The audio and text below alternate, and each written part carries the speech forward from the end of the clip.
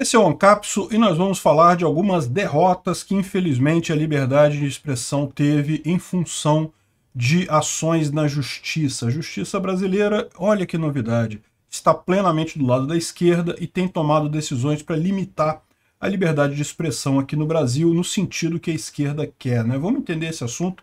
A, a Jovem Pan parece que a, a justiça negou liminar para os Sleeping Giants, então os Sleeping Giants pode continuar atacando a Jovem Pan, também da revista Oeste com a Aos Fatos, e por fim, também aquele movimento todo da Rede Globo com relação aos canais Red Pill e coisa e tal, teve resultado, o YouTube parece que fez uma limpa nisso daí, né? Vamos entender o que está acontecendo. Essa notícia foi sugerida por O Importante é que o Amor Venceu, Ser Red Pill é agir em legítima defesa e várias outras pessoas. Obrigado aí ao pessoal que sugeriu a notícia. Obrigado a você que está assistindo o nosso vídeo. Se você gosta do nosso conteúdo, por favor, deixe o seu like e se inscreva aqui no canal, né?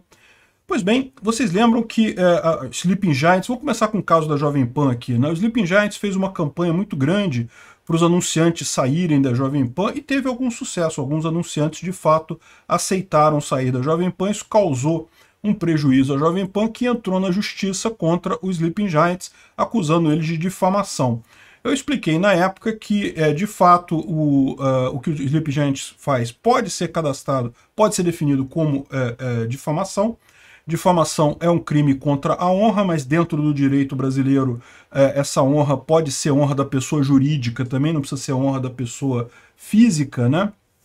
Então, é, de fato, isso era cabível. Agora, a questão toda é, no final, no mérito, o Sleeping Giants vai precisar provar que o que ele falou era verdade, ou seja, que o, a Jovem Pan de fato incentivou os ataques no dia 8 de janeiro e coisa e tal.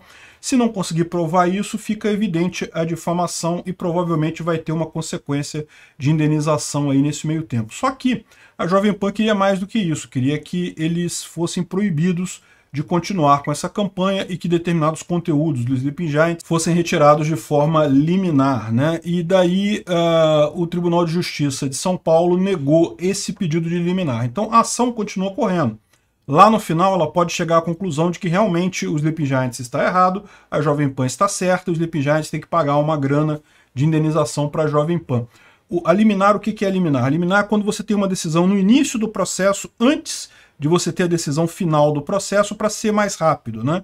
E daí você tem que comprovar que realmente está tendo um prejuízo grande, que tem problema e que tem é, é de fato que a, a empresa está, a, a, a causa sua tem muita chance de dar frutos. Né? Foi esse o problema, né? a questão justamente do FOMO bono iuris, que é, é uma, um requisito da liminar, e não foi, o juiz entendeu que não havia nesse caso, ou seja, não havia claramente a, é, é, a, difamação por parte da, do Sleeping Giants. Né? Então, ou seja, como resultado disso, não quer dizer que a Jovem Pan perdeu a ação, ela perdeu essa batalha, perdeu esse pedido, a ação continua correndo, vamos ver quando, como é que vai chegar lá no final, mas eu sinceramente não tenho muitas expectativas, né? É o que eu falo para vocês, o que eu vou fazer a conclusão desse meu vídeo vai ser justamente isso. Nós estamos numa fase que é, não tem jeito. Se você quer liberdade de expressão, se você quer poder se é, falar, você tem que recorrer cada vez mais a, a, a mecanismos libertários. Esquece justiça estatal. Justiça estatal não vai resolver o seu problema, né? É, Jovem Pan até conseguiu no primeiro momento, na primeira instância, mas aí derrubaram no tribunal e para para pensar, né? Mesmo que, é, vamos supor que a Jovem Pan ganhe, eles podem ficar recorrendo, isso pode chegar no STF. Quem que vocês acham que o STF vai julgar favoravelmente entre Jovem Pan e Sleeping Giants? Me fala. Pois é. Então a chance da Jovem Pan ganhar essa história toda é muito pequena no final, né?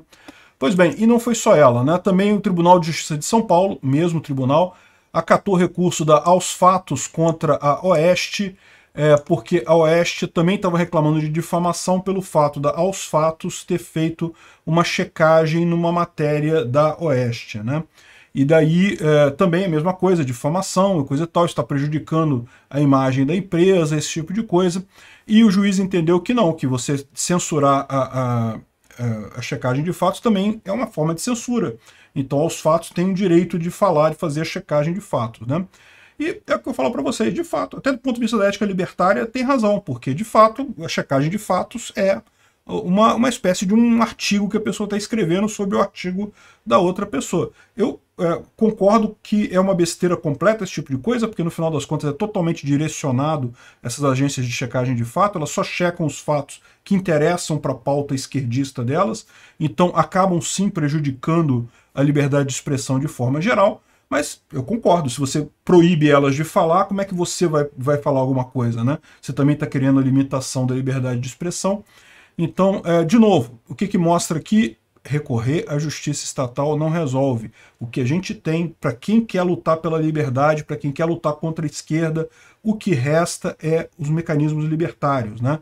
É você ter canais descentralizados, canais pequenos, muitos canais, é, meios alternativos, Rumble, é, BitChute, Odyssey, esse tipo de coisa, é, justamente para você ter uma aderência, uma, uma capacidade maior de resistir aos ataques dessas grandes redes. Né?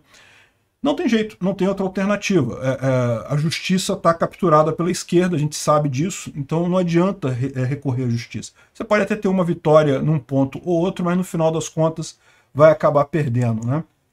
Outra informação que teve também, você lembra que alguns dias atrás, é, algumas semanas já, né, a Rede Globo começou uma grande uma grande é, briga com canais que fazem é, red pill, né, que ficam falando é, questão de relacionamentos de homens com mulheres e coisa e tal, e eles acham que esses canais são todos misóginos e coisa e tal.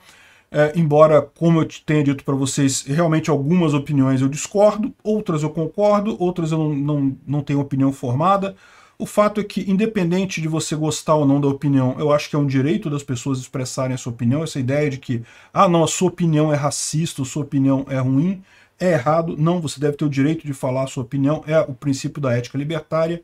Se você proíbe as pessoas de falar determinada coisa, você não está impedindo elas de pensar naquela coisa. Ao contrário, você está garantindo que elas vão pensar naquilo e não vai ter ninguém para botar um argumento contrário àquilo, porque ela não vai falar ninguém vai argumentar contra. Então o ideal é deixar as pessoas falarem mesmo, mesmo que as pessoas falem besteira. Você vai lá e argumenta. Essa é a visão da ética libertária. Você não é que, ah, não, é tudo legal falar qualquer coisa. Não, poder você pode. É, a ideia é justamente expor esse tipo de comportamento idiota para as pessoas é, apresentarem contra-argumentos para você. Né? No final das contas, né, é, aquela campanha de sempre, é, fantástico, mostra coisa, aí o pessoal vai em cima das empresas, a próximo passo agora vai ser a lei de misoginia, você pode ter certeza que já estão preparando isso, e o YouTube diz que impôs punições a 500 vídeos publicados por 80 canais, que eles chamam aqui de masculinistas, que é, usavam a plataforma para disseminar conteúdo misógino nas redes. Né? Então, ah, algumas punições foram restrição para acesso a menores de 18 anos, ou seja, eu imagino que é, é, é só permitido maiores de 18, né? Desmonetização e remoção de conteúdos e penalização. Eu estou imaginando que isso aqui foi um strikes que o pessoal recebeu, né? Enfim, uh, no final das contas, conseguiram isso daqui. Isso aqui não tem justiça. Isso aqui eles conseguiram só reclamando com o YouTube. Mas aí o meu ponto é esse. O pessoal que tem esses canais pode entrar na justiça para tentar conseguir reverter esse tipo de coisa?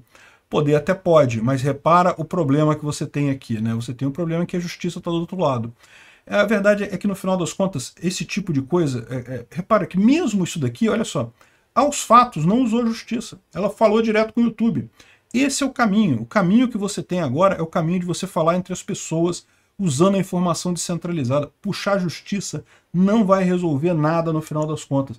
O mesmo caso aqui do, do, da revista Oeste, que queria tirar a checagem de fato. Esquece esse negócio de checador, ninguém leva a sério o checador de fato, a verdade é isso, essa coisa vai, vai morrer sozinha, porque ninguém leva a sério isso daí, justamente por serem tão tendenciosos, tão enviesados nas análises que eles fazem, né? Chega a ser engraçado no final das contas.